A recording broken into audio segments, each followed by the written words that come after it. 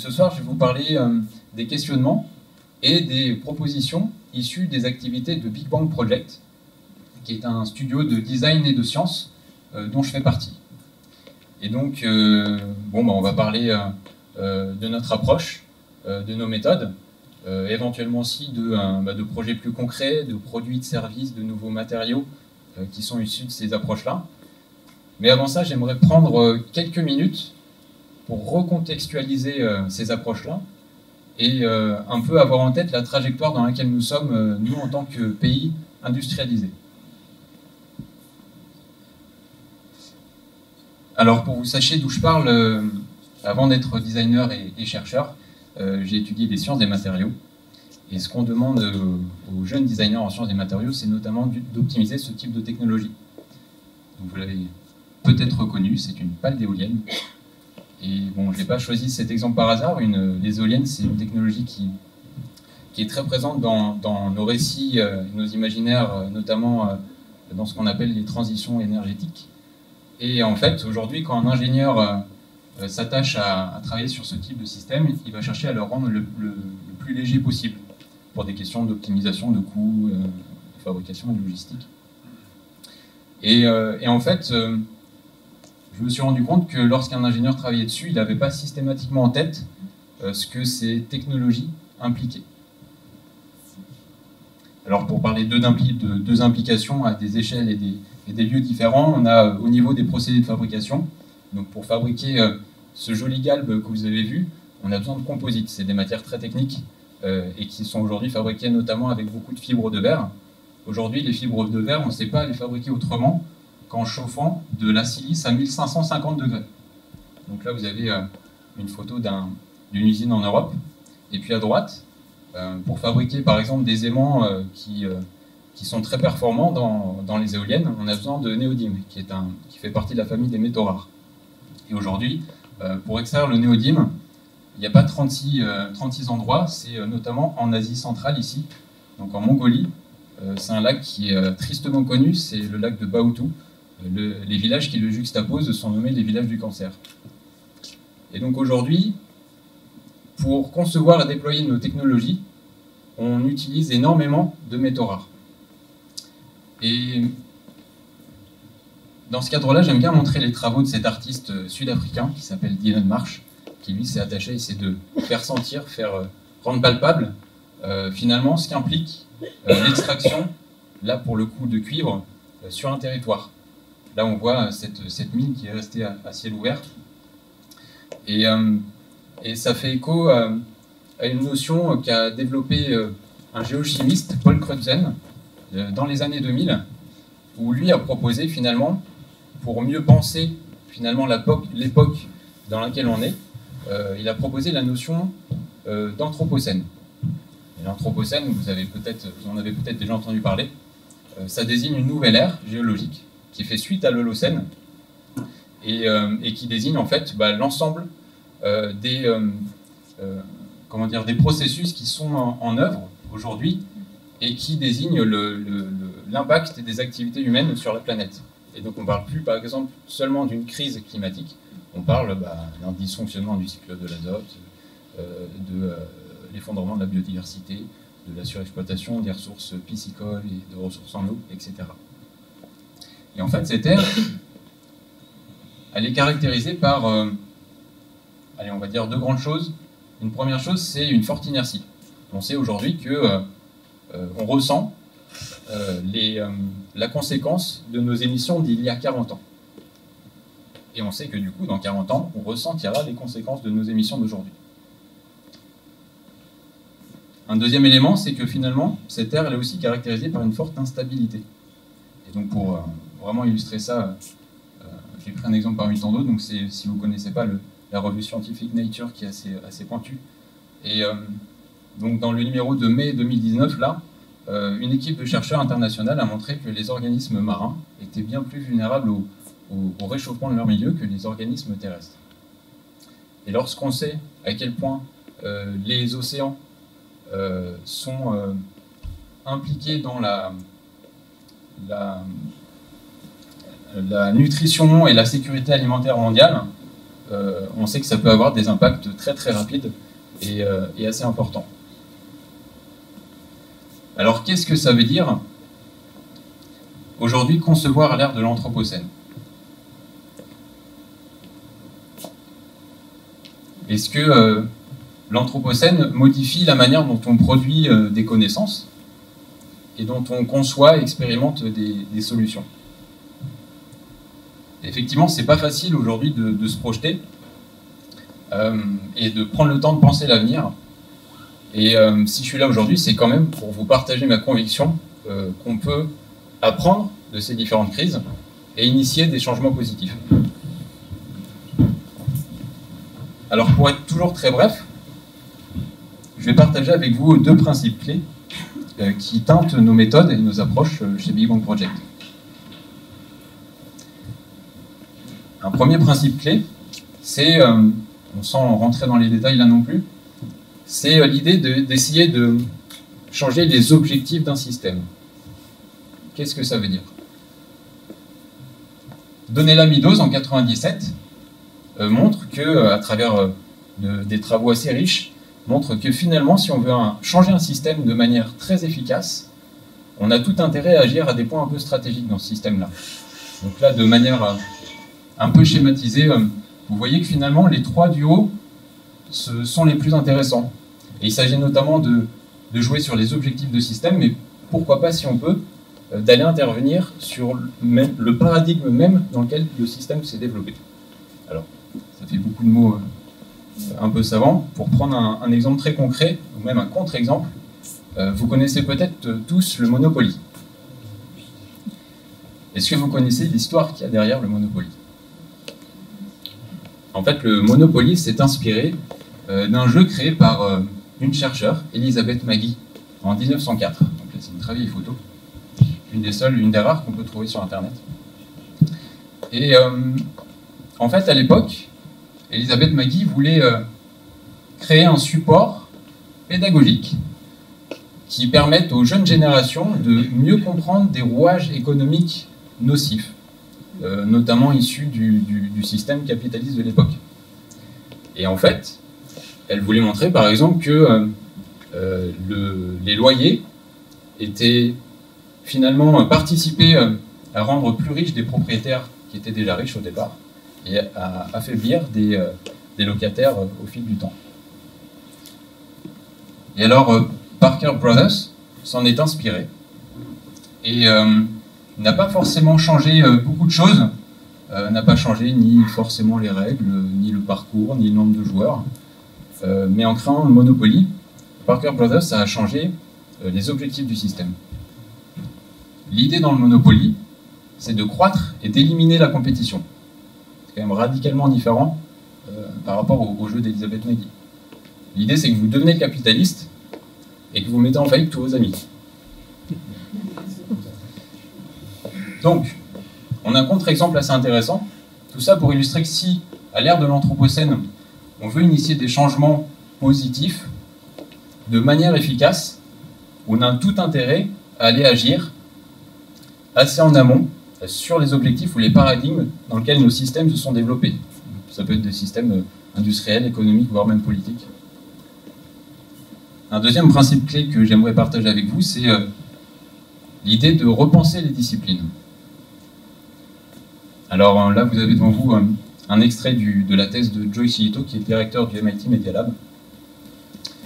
Et Joyce Ito montre, donc c'est en 2018, montre que euh, en fait, euh, la manière dont euh, la recherche se fait aujourd'hui, dans des structures académiques, et en fait, un, ne permet pas de créer des connaissances vraiment originales, et deux, favorise l'effet, vous savez, le fameux effet silo dont on parle maintenant depuis plusieurs années, le silotage des disciplines. Et en fait, il montre qu'en repensant les structures, les écosystèmes de recherche, on peut arriver à investiguer ces fameux espaces blancs, donc là c'est très schématique, ces espaces blancs entre les disciplines.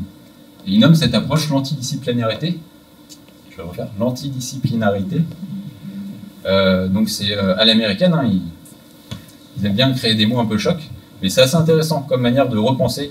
Euh, nos structures nos écosystèmes de recherche. Donc aujourd'hui, si à l'ère de l'Anthropocène, on veut, produire des connaissances utiles, ce concept d'antidisciplinarité est assez intéressant.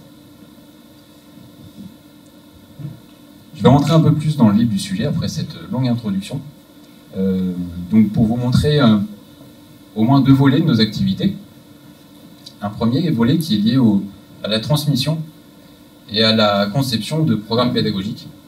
Donc euh, on a des liens très forts avec l'ENSI des ateliers, qui est l'école nationale supérieure de création industrielle qui est située à Paris, et où on enseigne notamment aux étudiants en, design, mais aussi dans lequel on invite des étudiants scientifiques.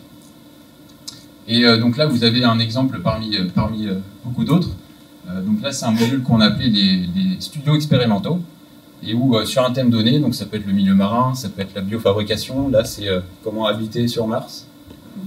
Quel est le rapport, vous me direz Et finalement, ce qui est intéressant pour nous, à travers ces modules de formation, c'est d'introduire des nouvelles questions dans les champs des sciences et des questions issues du design. Et inversement, aller euh, introduire des questions scientifiques dans les champs du design. Et ça donne des choses assez intéressantes. Et par exemple, là, typiquement, euh, sur le fait d'aller habiter sur Mars, euh, très très vite, on a eu des questions d'étudiants extrêmement riches, notamment sur bah, des dimensions éthiques, des dimensions juridiques, voire même un peu ontologiques. Pourquoi on irait sur Mars en fait aujourd'hui? Ou alors à quoi peut ressembler une exploration extraterrestre raisonnée? Voilà, c'est ce type de problématique sur lesquelles nos, étudiants travaillaient. Un autre module de formation, c'est euh, euh, toujours en mode projet. Euh, dans le cadre du concours donc iGEM, donc c'est un concours qui est plutôt dédié à la biologie de synthèse, qui a été initié par le MIT il y a quelques années. Et en fait, on tient à mettre nos étudiants en groupe dans ce concours pour un peu les, leur permettre de se forger un regard critique, notamment euh, vis-à-vis de ces technologies-là qui sont assez peu comprises, très complexes euh, aujourd'hui. Donc là, vous avez l'exemple euh, d'un projet d'étudiants qui a été mené il y a maintenant trois ans. Donc il y a à la fois des étudiants d'école de design de l'ENSI, des étudiants de Pasteur, des étudiants de physique-chimie, des étudiants en droit, une vingtaine d'étudiants en tout, qui sont encadrés pendant neuf mois et qui doivent par eux-mêmes poser une question de recherche, trouver le chemin pour arriver à une solution intéressante et déployer la solution. Tout ça en 9 mois. Ça a donné euh, notamment deux projets euh, assez récents sur deux années. On, a fait ça pendant trois ans. Maintenant, on a arrêté. Ça prend beaucoup d'énergie. Euh, et là, vous avez à gauche, voilà, pour, être très bref, un, dispositif qui permet de, filtrer passivement l'air intérieur dans les habitats et qui permet ensuite de récupérer les composés qui sont captés pour les réutiliser dans les industries, notamment les industries de l'électronique. Et à droite, vous avez euh, euh, un dispositif qui permet en fait de cartographier en temps réel les maladies liées aux arbovirus. l'idée, c'est avec ce piège à moustique à gauche, vous arrivez à, capturer un moustique ou plusieurs, et avec l'objet de droite, vous êtes capable, en, l'écrasant, de voir bah, assez facilement s'il est porteur d'une maladie ou pas. Et ça, c'est extrêmement euh, intéressant aujourd'hui quand on sait qu'on euh, balaye euh, à l'aveugle des forêts entières avec des pesticides et des insecticides. Un dernier volet de l'aspect formation, c'est pour nous un peu une concrétisation, c'est ce Master of Science qui, consiste à mettre 15 personnes en voyage pendant une année, avec donc un certain nombre d'experts autour. Vous voyez le, le CIBIOS, euh, le Centre européen d'excellence en biométisme, le MISOM, l'histoire naturelle, etc., euh, etc. Et donc vous avez vu le mot Nature Inspired Design. Je suis désolé pour mon anglais. Et donc je vais passer là sur un volet un peu plus, euh, sur un autre volet de, nos activités qui consiste à épauler des équipes de recherche et même de concevoir des objets, des services, des matériaux et tout ça, on le fait euh, dans un cadre euh, avec une approche, on va dire plutôt, euh, qui est celle du biomimétisme. Alors, est-ce que vous avez entendu parler du biomimétisme? Super. Une dizaine de personnes. Et donc, ça fait 8 ans déjà qu'on met à l'œuvre, on met en œuvre l'approche du biométisme avec un réseau d'experts assez pointu, on ne le fait pas par nous-mêmes, hein, nous on est, deux designers et une biologiste équipe. Et, donc, pour faire bref, le biométisme, ça, ça consiste à dire, et si on s'inspirait du vivant pour concevoir euh, des produits, des services euh, dans une démarche plus résiliente. Et là, derrière moi, vous avez donc l'arbre du vivant. Euh, l'idée, c'est de représenter l'ensemble des règnes, bah, à la fois animal, végétal, bactérien et compagnie et compagnie. Pour vous donner un ordre d'idée, aujourd'hui, on a référencé 1,7 million d'espèces sur Terre. Les dernières estimations nous disent, on pense qu'il y a entre 10 et 20 millions d'espèces. Et ce simple constat, nous, en tant que concepteurs, nous stimule énormément parce qu'on se dit, bah, en fait, à travers une histoire vieille de 4 millions d'années déjà, euh, le vivant a su s'adapter, évoluer dans des conditions euh, changeantes continuellement, et c'est une véritable source d'inspiration euh, pour, euh, pour aller voir bah, plus précisément quels mécanismes, quelles structures, quelles organisations ont été mises en place euh, vis-à-vis de quel type de contraintes. Il y a un certain nombre, un certain volume de littérature déjà maintenant aujourd'hui sur ce sujet. Là, c'est une grille de lecture assez intéressante qui est très orientée vers les métiers de la conception mais qui permet de voir un peu les, grandes stratégies, si on les interprète un peu, euh, du vivant, qui, euh, qui lui bah, voilà, s'adapte aux, conditions changeantes, évolue pour survivre, fait de la chimie verte, à température et pression ambiante. Et c'est une grille de lecture assez intéressante pour nous en tant que concepteurs. Et donc je vous ai parlé de résilience tout à l'heure. C'est vrai que ce terme est un peu galvaudé aujourd'hui. Euh, j'entends par là, en fait, le sens biologique du terme, le, le fait de. Euh, euh, lorsqu'un système est. Euh, comment dire Face à une perturbation, arrive à retrouver un état de fonctionnement. Et donc l'idée, c'est que le système à l'arrivée n'est plus le même qu'au départ. On est bien d'accord. Pour illustrer un peu ce que je vous dis, je peux vous montrer là l'exemple d'un projet qu'on a mené il y a, il, y a, donc 5 ans maintenant, où on a cherché à repenser euh, euh, un objet du quotidien qui est la bouilloire. Et en fait, en cherchant un peu plus précisément, on s'est rendu compte que euh, la bouilloire, la, majorité de l'impact se situe au niveau de son usage.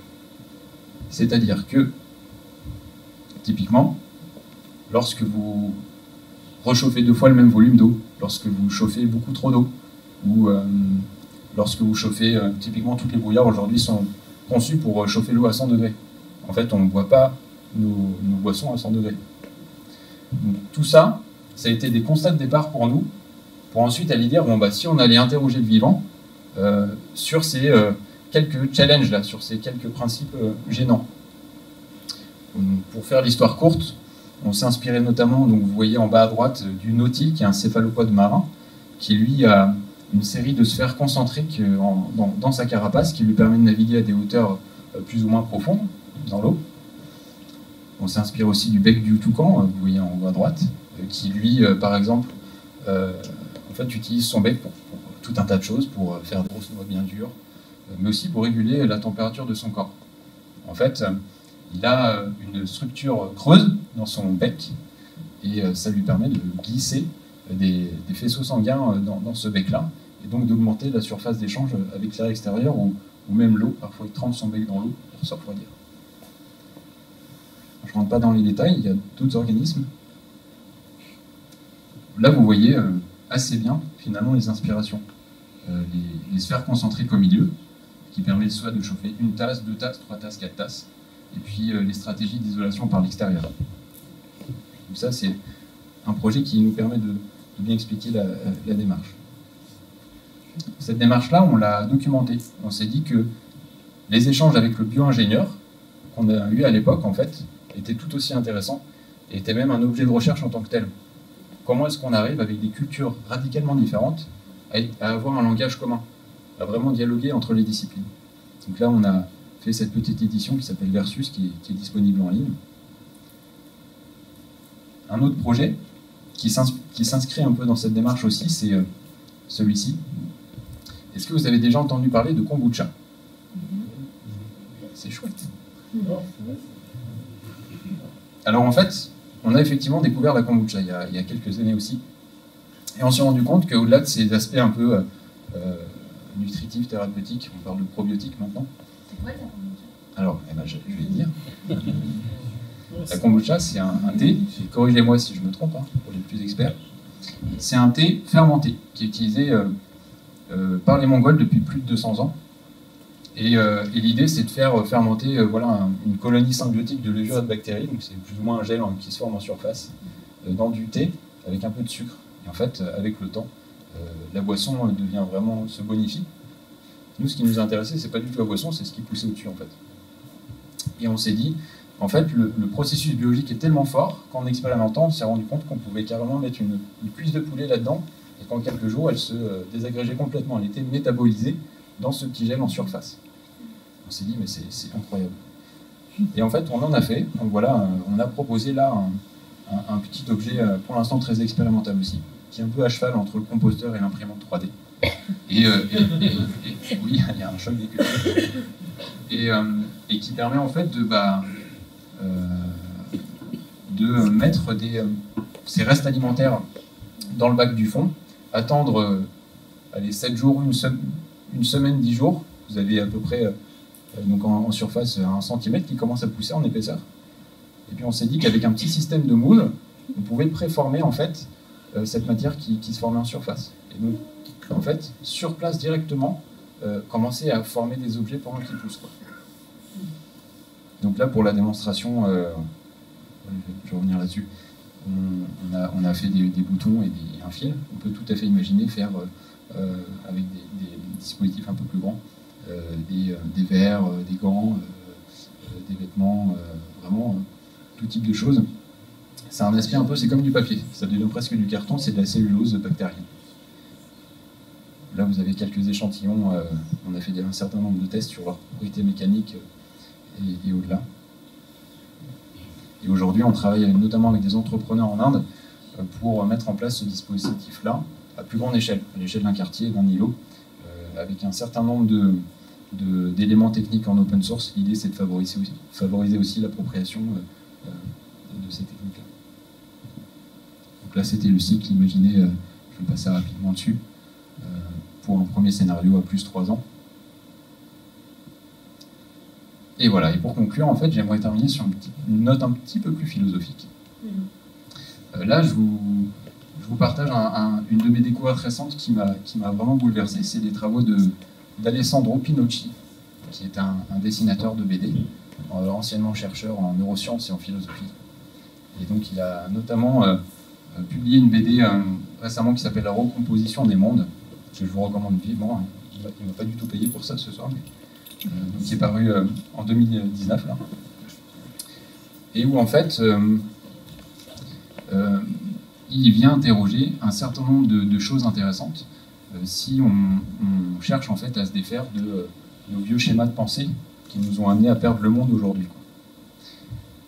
Et dans ce cadre-là, pourquoi pas, par exemple, chercher à déconstruire l'idée de nature Là, en, très peu de pages, euh, Alessandro nous apprend que finalement c'est un, concept qui a été inventé assez récemment par les cultures occidentales et qui est tout à fait absent dans plein d'autres cultures, notamment chez certains Indiens d'Amazonie et aussi euh, à la ZAD de Notre-Dame-des-Landes. Pourquoi aussi on, ne chercherait pas à déconstruire l'idée de ressources?